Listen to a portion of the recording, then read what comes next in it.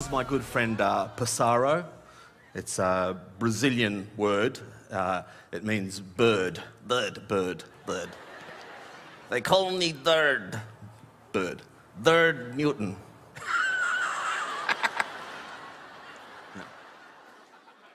Look at her. Miss, Miss French. See. the vixen of Diddley.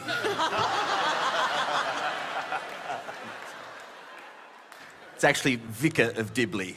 You try for what you want, I'll try for what I want.